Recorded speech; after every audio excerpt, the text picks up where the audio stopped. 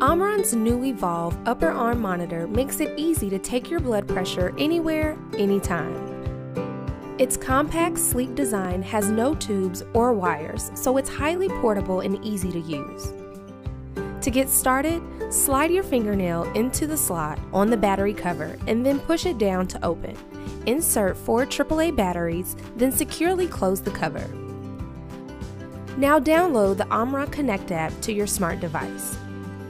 Next, pair the devices. To do this, turn on your phone's Bluetooth.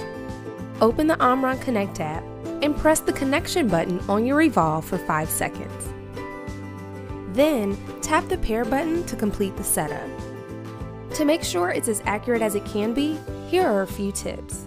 Do not take a measurement within 30 minutes of eating, exercising, bathing, smoking, or drinking alcohol. Sit comfortably in a chair, keeping your back straight and your feet flat on the floor. Place the cuff on your left upper arm one half inch above your elbow. Securely close the cuff using the fastener. Press the Start Stop button to start taking your measurement. Remain still until the cuff automatically deflates and your readings appear on the monitor screen. Make sure to record your readings or transfer them to the app. To start the transfer, open the app and tap the sync button. When you're done, press the Start Stop button to turn off your monitor. It's important to take measurements at the same time each day and use averages over time to compare your readings.